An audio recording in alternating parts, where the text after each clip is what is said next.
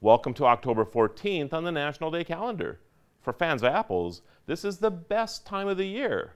Once autumn comes around, it's apple picking season.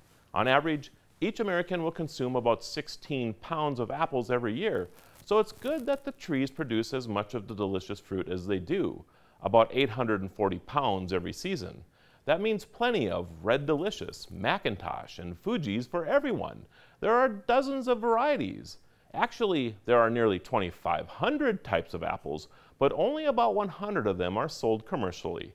October is National Apple Month, a time to celebrate these tempting fruits and all the goodies we love to make from them. I'm Marlo Anderson with the National Day Calendar. See you again tomorrow as we celebrate every day.